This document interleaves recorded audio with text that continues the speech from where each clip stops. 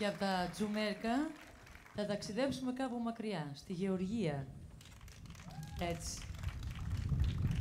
Και θα υποδεχτούμε τη Γεωργιανή Πολυφωνική Χοροδία Παραδοσιακής και Εκκλησιαστικής Μουσικής, η Αγία Νίνα.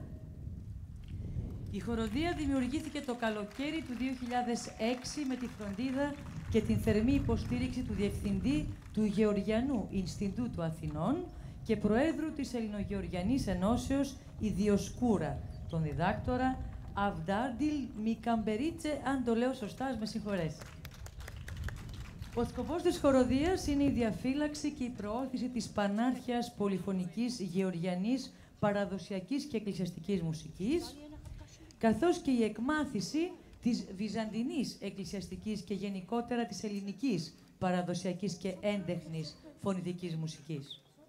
Η χοροδία είναι μεικτή και αποτελείται περίπου από 40 μέλη ως επιτοπλίστων γεωργιανούς μετανάστες, εργαζόμενους και μαθητές, όπου τις Κυριακές στην εκκλησία του Αγίου Παντελήμωνα Χαρνών, υπό την πνευματική καθοδήγηση των εφημέριων του ναού, τον Πάτερ Αβίβο και Πάτερ Συνέσιο, συμμετέχουν στις θείες λειτουργίες και άλλα διακονήματα ψάλλοντας τη γεωργιανή γλώσσα.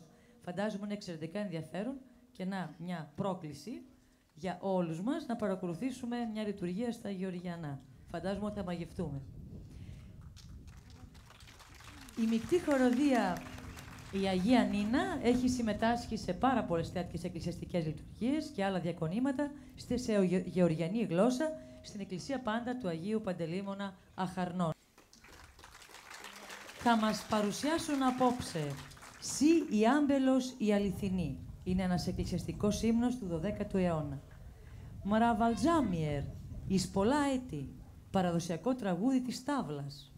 Νανούρισμα από την Καχετία που είναι στην Ανατολική Γεωργία.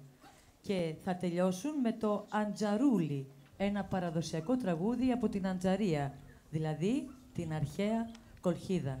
Ας ταξιδέψουμε λοιπόν και ας το υποδεχτούμε πολύ θερμά.